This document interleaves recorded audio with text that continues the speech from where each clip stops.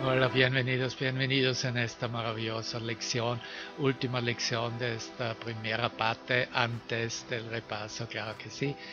Hemos llegado a la lección 200 y vamos a repetir este título de esta lección juntos. No hay más paz que la paz de Dios. No hay más paz que la paz de Dios. Solo hay la voluntad de Dios. Es más o menos la misma idea, solo hay una paz y es la paz de Dios. Solo hay una verdad y esta verdad es el pensamiento creativo, quién somos, quién eres, quién soy. Y es una lección que sigue a la lección como deseo la paz de Dios o la paz de Dios refulge en mí ahora y muchas otras indicaciones hacia esta experiencia singular en nuestra mente, este redescubrimiento de quién soy en la mente de Dios. Si tú eres su amor, tú eres su paz.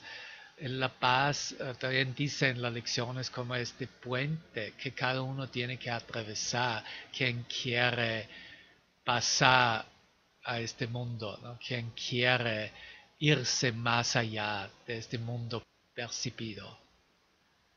Bienvenidos, estoy comenzando de nuevo más al fin de esta lección, comenzando con párrafo 9, donde nos da, nos abre todo lo que esta lección nos dirige y nos ofrece.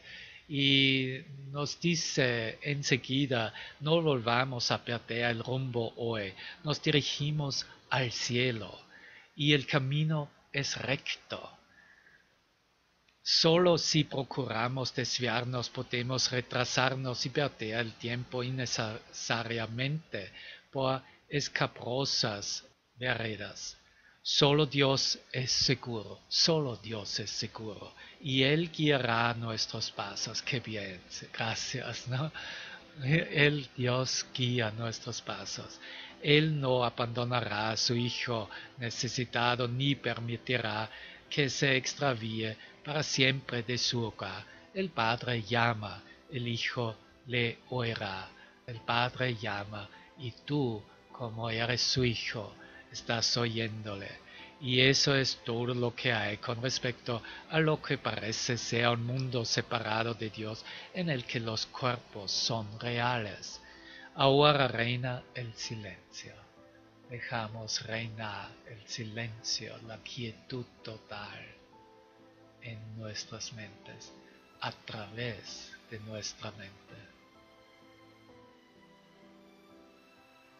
Gracias. Ahora reina el silencio, deja de buscar. Así comienza la lección también. No hay más necesidad de buscar has llegado en este silencio. Deja de buscar, has llegado a donde el camino está alfombrado, con las hojas de los falsos deseos que antes anhelabas, caídas ahora de los árboles de la desesperanza. Ahora se encuentran bajo tus pies. Y tú levantas la mirada y miras al cielo con los ojos del cuerpo que ahora te sirven solo por un instante más. Por fin la paz ha sido reconocida y tú puedes sentir como su tierno abrazo envuelve tu corazón y tu mente con consuelo y amor. Hoy no buscamos ídolos. La paz no se puede encontrar en ellos. La paz de Dios es nuestra. Dime, la paz de Dios es mía y no habremos de aceptar o querer nada más. Y eso, la, siguiente frase puedes compartir con tu vecino, con tu hermano a tu lado, con tu Cristo quien anda contigo.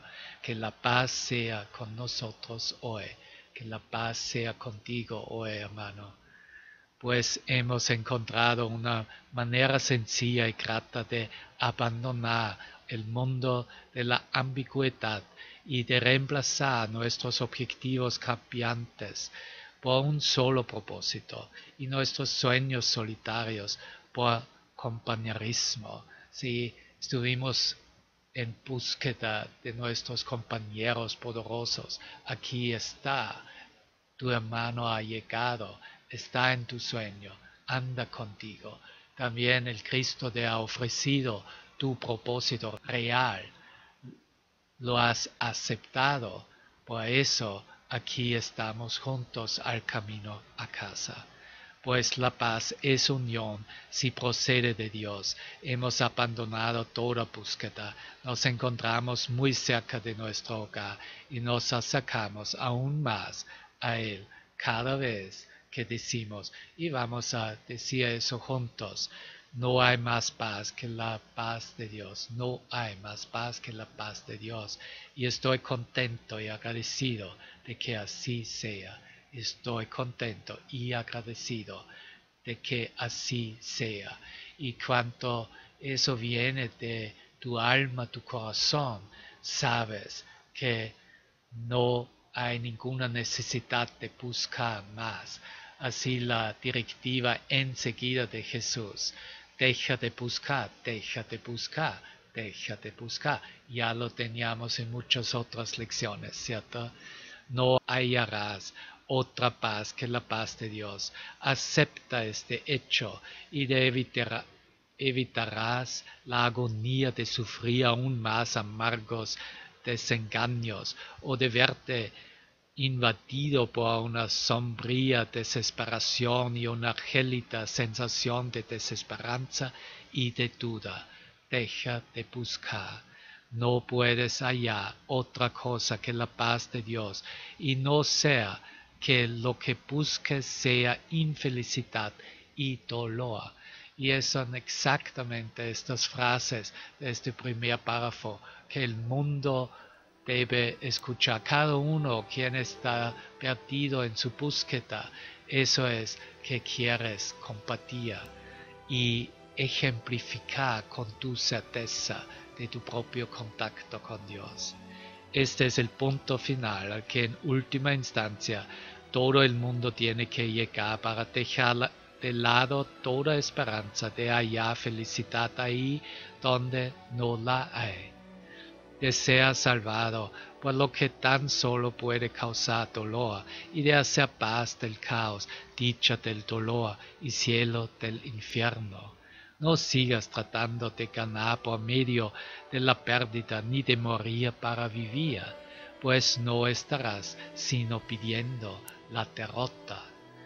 No obstante, con la misma facilidad puedes pedir amor, felicidad y vida eterna en una paz que no tiene fin.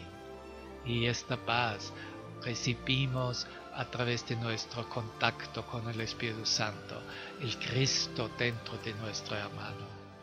Pide esto y solo puedes ganar. Pedir lo que ya tienes te lleva al éxito. Pedir que lo que es falso sea verdadero solo puede conducir al fracaso. Perdónate a ti mismo tus vanas imaginaciones y deja de buscar lo que no puedes encontrar, pues ¿Qué podría ser más absurdo que buscar el infierno una y otra vez cuando no tienes más que abrir los ojos y mirar para darte cuenta de que el cielo se encuentra ante ti, allende el umbral de una puerta que se abre fácilmente para darte la bienvenida? Regresa a casa, regresa a casa Jamás encontraste felicidad en lugares extraños, ni en formas que te son ajenas y que no tienen ningún significado para ti, si bien trataste de que lo tuvieran. No te corresponde estar en este mundo. No te corresponde estar en este mundo. Aquí eres un extraño. De nuevo, de nuevo, de nuevo. Repasamos esta importante información acerca de nuestro objetivo y directiva a casa, pero he estado a encontrar los medios a través de los cuales el mundo deja de parecer una prisión o un cárcel para nadie. Y como sabes, eso es como una aceleración en nuestra transformación y esta aceleración es el milagro, es este medio de perdón y amor tal como Jesús nos da. Se le concede la libertad ahí donde no veías más que cadenas y puertas de hierro. Mas si quieres allá escapatorio tienes que cambiar de parecer con respecto al propósito del mundo, ¿no? cambiar tu mente originalmente dicho. Así en la lección 132, a través de nuestro cambio mental, todo desvanece. A este reconocimiento, ah, el mundo desaparece, no hay mundo, solo fue una alucinación. Permanecerás encadenado hasta que veas el mundo como un lugar bendito liberes de tus errores a cada mano y lo honres tal como es. Estos son los criterios. Vea bendiciones por todas partes, compartir y extender la bendición. Liberes de tus errores a cada mano a quien lo has proyectado y lo honres tal como es. Y así estaba tocado en la lección de ayer reconocer que tu hermano no es un cuerpo. Eso es honrar quien verdaderamente es. Tú no lo creaste, tu hermano. Así como tampoco te creaste a ti mismo. Y al liberar uno, el otro es aceptado tal como es. ¿Qué función tiene el perdón? Mira, directa pregunta. Y se trata del perdón. Perdón es el medio, es la llave a la felicidad en realidad no tiene ninguna, perdón, no tiene en verdad ninguna función, no hace nada, ni hace nada, pues es desconocido en el cielo, es solo en el infierno, aquí en tiempo y espacio, ¿cierto? Donde se le necesita y donde tiene una formidable función que desempeñar. ¿No es acaso un propósito loable ayudar al bien amado Hijo de Dios a escapar de los sueños de maldad, que aunque son solo fabricaciones suyas, él cree que son reales. ¿Quién podría aspirar a más mientras parezca que hay que elegir entre el éxito y el fracaso, entre el amor y el miedo? No hay más paz que la paz de Dios, porque Él solo tiene un Hijo, que no puede construir un mundo en oposición a la voluntad de su Padre o a la suya propia, la cual es la misma que la de Él. Pregunta, ¿qué podría esperar encontrar en semejante mundo? Este no puede ser real, ya que nunca fue creado. ¿Es acaso ahí a donde iría en busca de paz? ¿O bien tiene que darse cuenta de que tal como él ve el mundo, éste solo puede engañar, puede aprender no obstante a verlo de otra manera y encontrar la paz de Dios? Todo se trata acerca de este cambio mental, verlo de otra manera. Último párrafo. La paz es el puente tal como dijimos, que todos habrán de cruzar para dejar atrás este mundo. Pero se empieza a tener paz en él cuando se le percibe de otra manera. Y esta nueva percepción nos conduce hasta las puertas del cielo y lo que yace tras ellas. La paz es la respuesta de las metas conflictivas a las jornadas insensatas, a las búsquedas vanas y frenéticas y a los empeños sin sentido. Ahora el camino es fácil y nos conduce por una ligera pendiente hasta el puente donde la libertad yace dentro de la paz de Dios. No hay más paz que la paz de Dios. Como ves, nos dice se trata acerca de relajarnos completamente, no hacer ningún esfuerzo, no más empeños sin sentido, no más búsquedas vanas y frenéticas, no más jornadas insensatas, no más seguir metas conflictivas. Todo esto está simplemente transformado a través de la paz de Dios dentro de nosotros mismos.